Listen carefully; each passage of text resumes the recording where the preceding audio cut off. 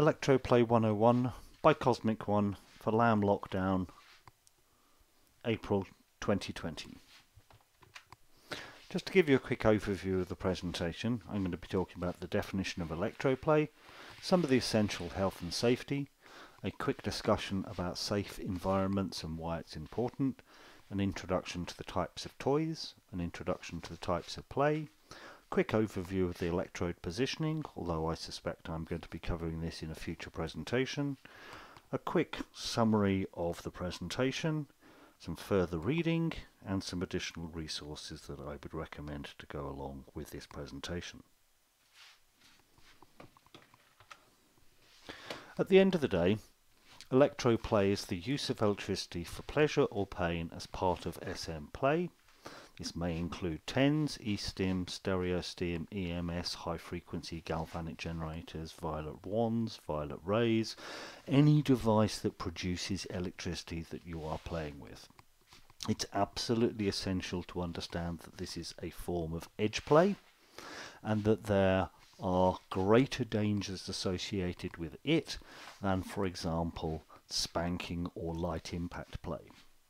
It forms part of the spectrum of behavior that is that is encompassed by the acronym BDSM, bondage and discipline stroke dominance, and submission stroke sadism and masochism. It's where the fun is at the end of the day, whether that's in these dystopian times or at a, a more pleasant and green pasture. It's very important with this form of play that you don't engage with it without checking at least the basic health and safety information. Um, at the end of the day, if someone doesn't take a few seconds to ask these questions, then they cannot be considered someone that is a trusted player to play with.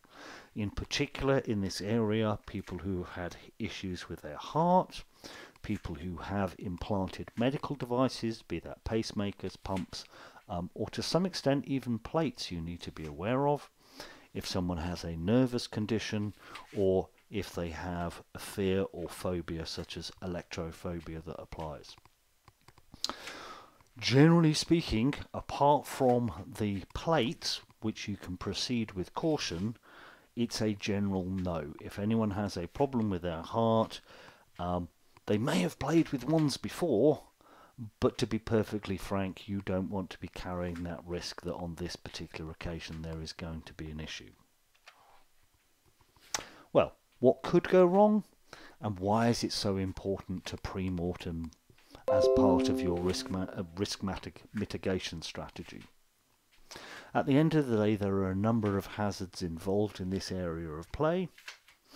Um, we're dealing with glass, if that breaks, that creates a sharp hazard. Okay, these are important things to consider that not a lot of people will initially do. Obviously, heart attack can be more than a little fatal, um, but if you're not aware of um, the early signs and symptoms of someone in cardiac distress, then how do you know to respond? Um, electro burns at the end of the day, when you're applying high voltage electricity to someone's skin, you can damage the surface of the skin. Even if that heals and becomes immediate or oh, visually indistinguishable from other parts of the body, the damage has been done. Um, I often use as a prime example someone who many years ago was into electroplay and humiliation. They asked someone to brand or temporary brand across their chest the word slut. And they didn't realise that years later, when they uh, were lying on the beach sunbathing, that that skin was permanently damaged. And as a result, as they tanned, it tanned at a different rate, and every time they tanned, they had the word slut written across their chest. Um, people can have panic attacks either because of the intensity of play or equally through the intensity of sexual experience, um, peak of orgasm, etc. Um, if you haven't experienced it, that point where someone literally has a panic attack because they're being overstimulated and then passes out, this is what le petit mort or the small death is. Um, it's that overstimulation, that panic, that response, um, the brain becoming overloaded and the person passing out. Um, if the person is asthmatic and you're playing with high voltage electricity, there can be some ozone production. Ozone is a very good trigger for asthma, so if you're not aware that the person has a history of asthma, um, then all of a sudden a scene can get cut very short. Um, excessive electricity bills, if this is an area that you really do enjoy, please understand you are running some pretty power hungry devices. Uh, at the end of the day, that is going to take a toll on your domestic electricity bill. And equally, if you are delivering 30, 40, 60, 80 uh, forced orgasms to a person, they are going to strain their voice. They may potentially lose their voice if they have an important business meeting the next day or they've got to be on Zoom with their boss. Um, please bear that in mind. Okay, so what do I talk about when I think of safe environments? Well, particularly with people who are new to this kind of play, it has to be safe clean and well lit locations. When you're picking up and, and developing new skills, fumbling around in the dark isn't the thing that's going to help you. You need to be in the cleanest, easiest location. You also want to be somewhere where you're unlikely to be intruded upon. Um, if you are playing in a public setting, uh, pick a quiet corner of the room rather than playing in a corridor because if you are holding the wand and doing secondary contact work and the sparks are coming out of the tips of your finger and someone brushes past you, they are going to get a shock, they are going to be shocked, and they may want to interrupt what you're doing to say, What on earth are you playing at? It's kind of one of those that quite often there is a sharing of fault in those situations, and the answer is be more cautious about the area that you're playing with. Also be cautious about the contact with metal, either obvious metal, someone sitting on a metal chair on a, a piece of metal tic-tac flooring, or the less than obvious metal that may be hidden under fabrics, etc. At the end of the day, if you're playing and you come into contact with this, it will change the sensation um, and it will rapidly go from something that they may find pleasurable to something they find quite disturbing and unpleasant. There is also a risk of tripping fuses. Um, I've lost count of the number of times I've been out in a club and someone's got out an antique violet wand, plugged it in, and all of a sudden the club is plunged into silence and pitch black.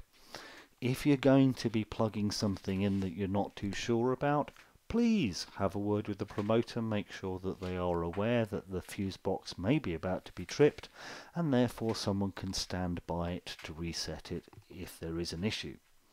They don't want to all of a sudden have to go traipsing through the club to find the fuse box in the first place, and then stumbling through clearing all of the rubbish out of the way to gain access to it.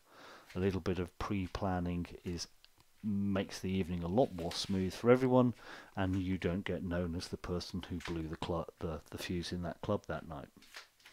Obviously, water and electricity don't mix, so you need to make sure that there are no immediate fluid hazards or that people aren't going to uh, place a drink right next to where you're playing and someone may tip that over.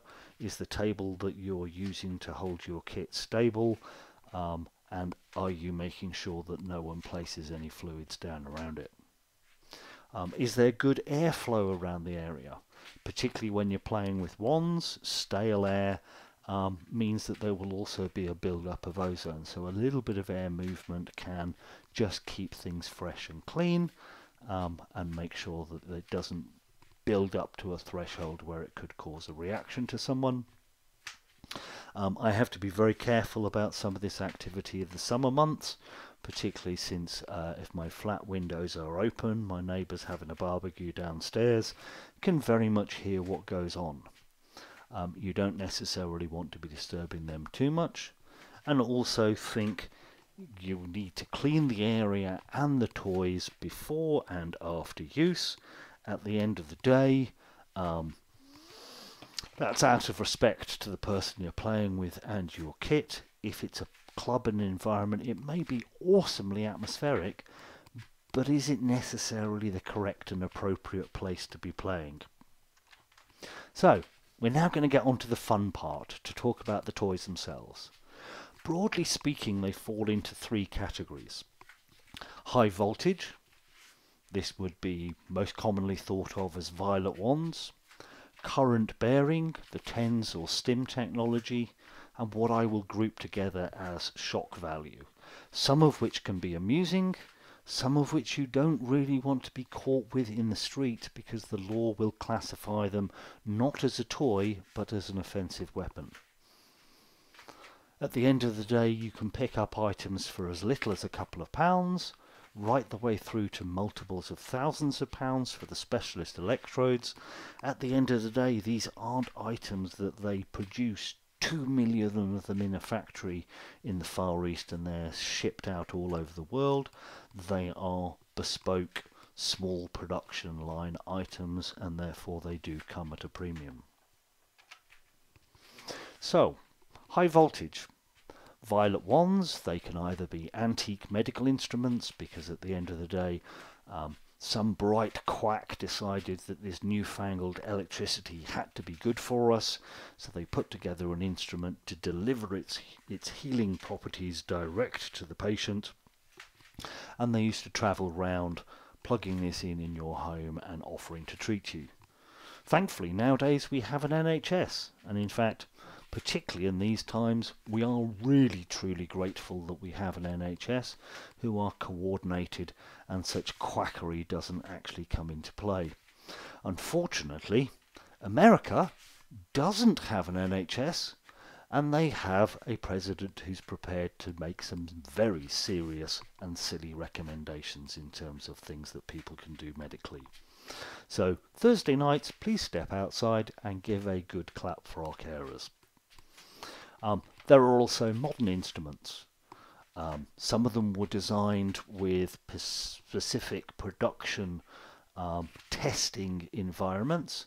So if you want to test for the thickness of a plastic coating on the inside of a metal uh, fuel tank, um, you might use this kind of spark generator, um, spark gap detector, um, that some of you may recognize as a re repurposed for playing with as wands. Equally, there are some very modern but lower power devices developed within the beautician sector because there is still this belief that applying high voltage electricity to your skin is good for you. Also within the realms of high voltage we have Tesla coils, we have Van de Graaff generators. These aren't generally the items that you will see being played with uh, in clubs or out and about, primarily because a good Tesla coil requires at least 5 meters of uninsulated material around it, otherwise it's extremely dangerous to use. If you want to see a good example of what it's like to play with a Tesla coil, look up the great Voltini on YouTube, who's been on television and, and tours the, uh, the festival circuit with this particular show. Quite impressive, but not the kind of thing you can really play with at home, primarily because you don't have 15 foot ceiling heights. Well, what kind of sensations can you generate with a wand? It can be anything from a mild tingling sensation, almost as if it's ants crawling across your skin, to a deep cutting sensation that someone is cleaving the flesh off the bone. Most people will refer to it as a tattoo like sensation. Um, it will release endorphins. Um, it can have exactly the same drifting effect of a tattoo, but without the permanent mark or, or artwork left behind. It can also leave the skin very, very sensitive, so it's a great uh, warm up to other forms of play. As a general rule, it's important to understand that the greater the surface area that you come into contact with, whether that's the size of glass area on the electrode or the amount of skin you make contact with, the less harsh the sensation is going to be. So you want to start off with the larger electrodes working down towards the smaller ones as opposed to the other way around. When you're playing, if you start off low and work your way up in terms of settings, you will naturally have a longer play session. One of the common complaints I often get is that people will demonstrate a wand along the lines of, here it is on power level 3, isn't that nice? Yes, it's nice, I like it. And then over the next 30 to 45 seconds they've cranked it up to a level 10 and the enjoyment has rapidly gone out of the window and the person who's controlling the box has lost um, that connection. They haven't seen that you're no longer enjoying it because they're getting their rocks off because they're playing with a wand at level 10 and the session ends very very quickly very important to understand that with particularly with the antique instruments um, they weren't designed to be run for long periods of time so 20 minutes to 30 minutes is probably the longest you should run them um, because the coil in the handle is basically wax wrapped around a thin metal sheet. As that gets hot it will melt the wax and it will break down that capacitor. Once it's gone it's gone. Um, that's why it's quite important if you really do enjoy wands that you have multiples or that your restoration is what's called a solid state restoration so that the components inside aren't the same um, wax layered material that can't be run for too long. Um, it's also important to think about this in terms of the senses that it is a sight, a sound and a smell you can integrate all of those factors in together when you're playing and it kind of creates a mad professor effect where you can take advantage of all of those aspects rolling a scenario together um, Dr. Frankenstein as opposed to uh, our wonderful lovely um, ethical medical professionals there are different types of electrodes whether that's glass um, and specially designed and specially blown, filled with um, inert gases such as neon, argon. Uh, a few of the more unusual ones were made with radioactive gases such as radon, although I wouldn't recommend playing with those. Obviously, any metal item is conductive, and there are also a number of conductive materials um, such as some of the metallic filaments in tinsel, uh, materials known as mylars, uh, carbon fiber increasingly is becoming an accessible material, um, and these are all things that can either be repurposed or a number of stores are already specifically making in those materials. Well, now to move on to the current bearing or TENS type technology. Um, TENS units can be purchased from Boots, eBay, high streets. There are some specialist kits that are repackaged for kink, but at the end of the day, if you're starting out, a very basic, simple £10 TENS unit is often enough to at least get you started. Um, yes, it won't have the same range of sensations, it won't have the same power delivery, um, but it's a good starting place and then the stim packages that are specifically designed, such as eStim Systems, PES, uh, ErosTek, ElectroStim, um, they range in, in functionality and models, um, and again, they range in price as well. I saw one recently, the supplier was looking at £1,400 for it, but it was designed to be a very authentic looking um, interrogation instrument um, the kind of thing that you would expect to see in uh, Guantanamo Bay or some secret uh, underground facility for extracting information out of people. And equally, the final group is the stereo stims. These tend to be DIY type circuit boards that people will put together, um, quite often using a small little amplifier as well. And as a community, they tend not to be seen out and about in public because, quite frankly, if you have the ability and skills and technology to wire yourself up and have the most mind bending orgasms, do you necessarily want to come out in public? Because you've got everything you want pre-lockdown at home. I suppose the only thing they had to battle for was for a supply of pasta and toilet paper. Everything else they needed was already in-house. Um, I've also listed another red group, which is the infamous Hollywood Relaxerciser, which was the instrument that enabled Jackie Chan to have his awesome six pack for the Kung Fu films. Um, at the end of the day, anything that plugs directly into the mains is considered extremely risky unless the supplier has specifically addressed the concerns and issues as to how to isolate the person from mains voltage should a failure occur. Um, there really is only one of the suppliers on the list above, which is ErosTek, who've worked that one out. Um, outside of that, um, most of these are either battery powered devices or have a rechargeable battery to avoid that direct mains connection.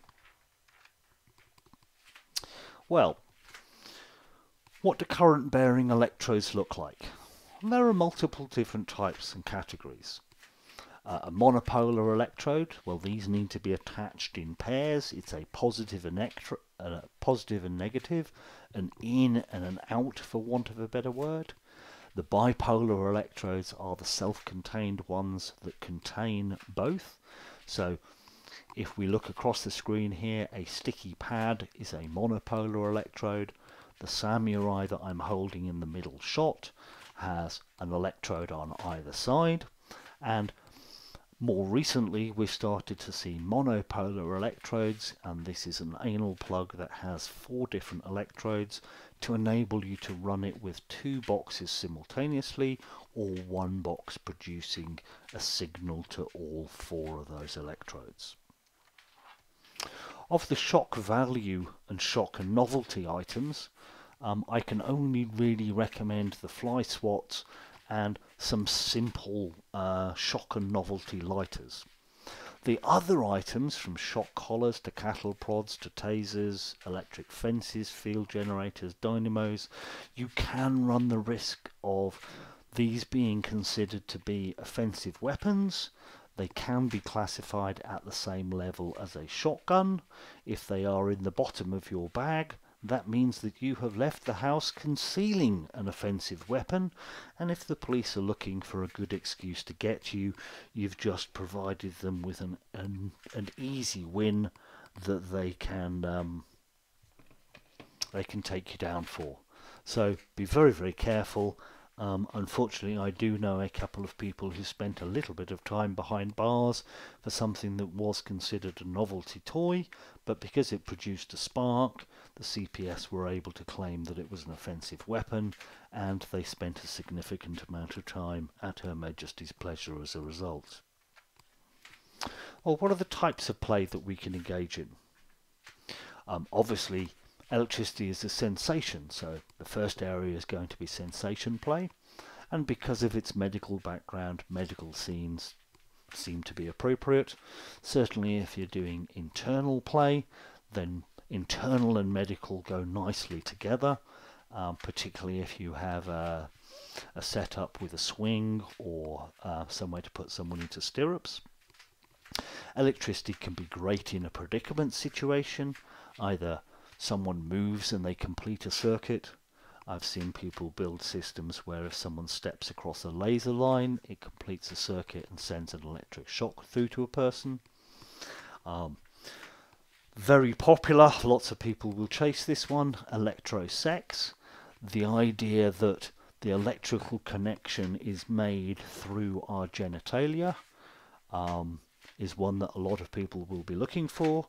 Um, in most cases, that does require people being in a fluid bound relationship because you can't use condoms in these kind of scenarios.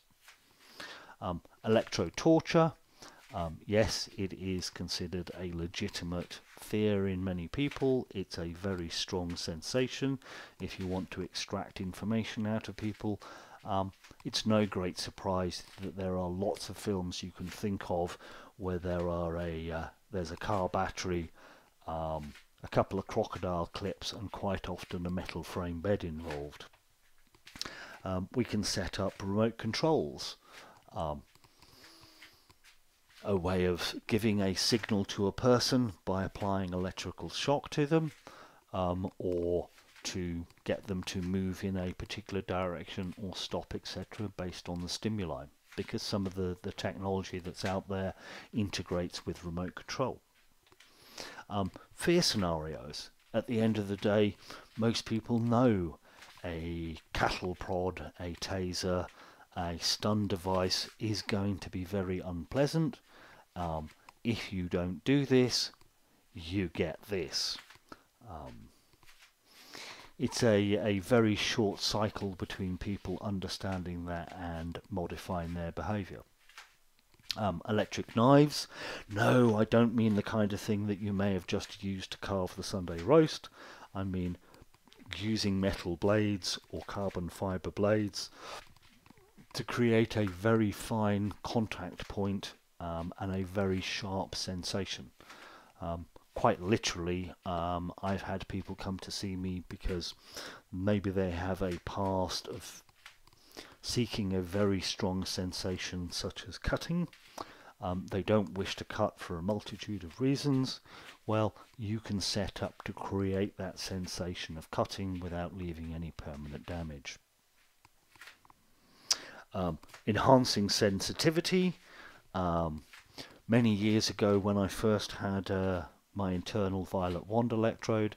I took it to a club, someone came along, liked the look of it, tried it, wasn't particularly their cup of tea, but they went on to a gangbang party later, um, saw me a couple of months later and were raving about the fact that I'd left their private parts in a very heightened sensitivity and the next 15 to 20 occupants at the uh, uh at the gangbang um, had given her exactly the stimulation that she was looking for. And equally, um, if you wire blokes up and you apply uh, direct stimulation to the prostate, you can literally create an electro milking scenario where they will just continually orgasm um, until the fluid is is completely drained. Um, we can use electrode positioning to directly stimulate people's muscles. Um, that can lead on to forced orgasms on both genders quite easily if you understand where to place the electrodes. Um, rather than an orgasm being something that is generated in the mind in combination with the stimulation of the nerves, this is something that works almost the other way around. There is so much stimulation to the nerves and muscles that it feeds the stimulation going, hey, you need to have an orgasm now because this is happening whether you're ready for it or not. Um, and quite literally, people who feel they have an, an amazing ability to control their orgasm and they, they they are the master of their own destiny can be somewhat unnerved and surprised when, in fact, the correct placement of electrodes means that their controlling role is rapidly diminished. Equally, the stimulation of nerves is different to muscles. I know some people who love nerve stimulation but cannot stand the sensation of muscle stimulation. There are different technologies out there. The nerve stimulation stuff is a little bit harder to access, and you're looking at the prof's black box for that kind of stuff. Equally, if you're very interested in conditioning and developing behavioral patterns, um, have a look at the Pavlok technology, where there are a number of modules that you can either self-control and self-discipline, or you can interact with another person who can set those levels of shock um, and electrostimulation um, based on the behavior that you're looking to modify. So, for example, if you want to give up smoking, it can detect the action of you smoking and will shock you as a result of that. Um, quite an interesting technology. A um, couple of illustrations of the types of play. Um, as you see in one picture, I am enhancing the sensitivity. I'm using um, a visual effect with the wand in another, almost like a lightsaber. I've strategically placed some small electrodes in another, and I'm kind of using that, that mad professorial um, visual effect of the violet wand in the other. To look at that more anatomically, um, as you can see from this cutaway diagram, there are a multitude of potential placements for electrodes with female physiology.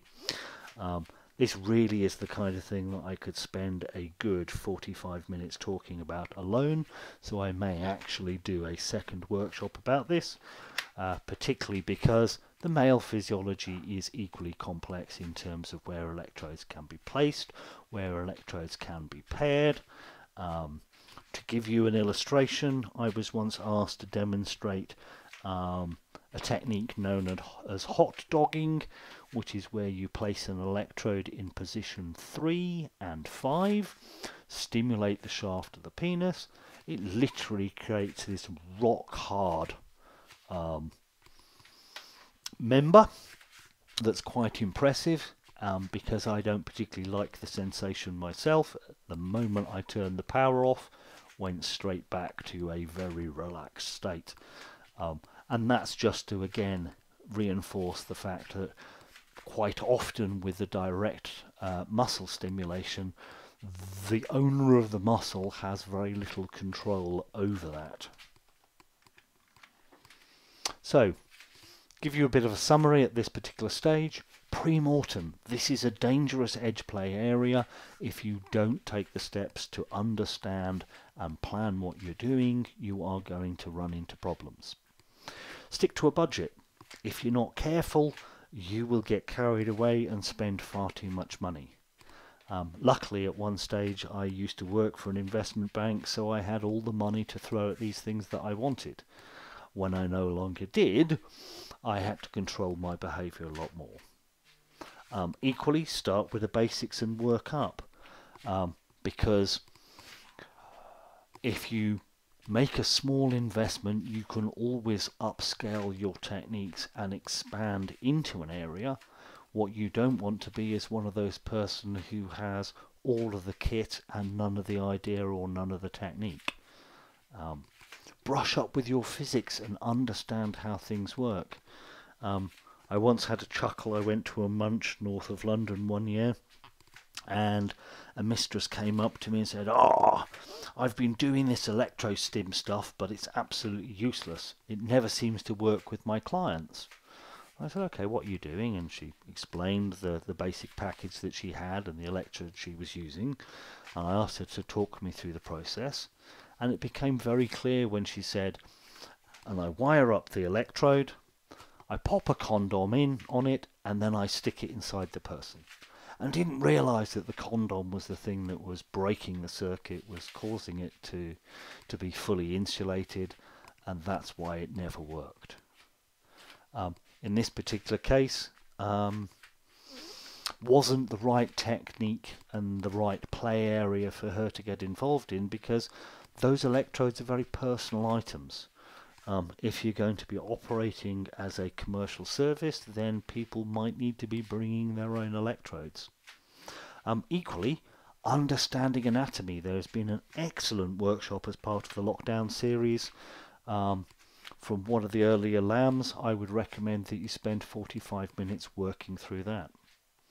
Um, learn first aid, if for no other reason than the hope that you don't need to use it, but if you do need to use it, you're not one of those people who's desperately trying to Google what to do while it needs to be done. Okay? If you are prepared in advance, then you are capable of calmly taking the steps that are required to minimize the damage of a situation.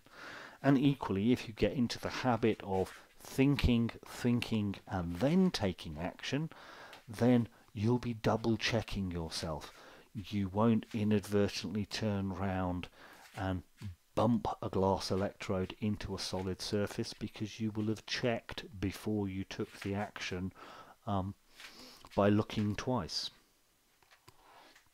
Some further reading, uh, one of the few books on the subject, Juice by Uncle Abdul. Um, it's a short read, it's quite good, it's notoriously not 100% accurate. What you will often find with the electro players is um, because there is no real hard and fast academic go-to answer. Um, you tend to get a lot of very strong opinions um, and some very strong personalities that go with that. Um, a couple of friends of mine who've done live workshops will um, mention well-known individuals who will come in and uh, attempt to derail conversations because they believe they should be the king of electrics. Well, the sad news here is, ladies and gentlemen, this isn't the Tiger King. There's no Netflix mini series for being the one who who's more out there than the rest. Okay, um, notoriety comes through making mistakes, so don't make them. There are a number of news groups out there, or at least there were for a while, um, via the Yahoo platform. There are a number of workshops or a number of groups on FetLife. There is an Electroplay primer in the educational section of the LAM website. I've also put that up online as writings as well. As Phil will have said in part of the uh, the orientation for the newbies, um, our stalls are some of the best people and resources that you can talk to if you're looking for vintage restored wands. Um, Nick and Morphia wands in the sub basement at London are awesome. If you're looking for a modern wand or some modern electrodes, uh, usually metal, um, then you want to be looking at the Trust stall on the ground floor. And if you're up in Manchester, and you're looking for a vintage restored wand and some very unique electrodes, then you want to be looking at the stock of Electrowolf. Now at this stage I'll probably be jumping into the live chat um, to see if there are any specific questions. Um, but I hope this has been a good presentation for you. I hope you have um, been staying at home, been keeping well, and that uh, these troubling times haven't been impacting you too too greatly. Catch up with you in the uh, workshop.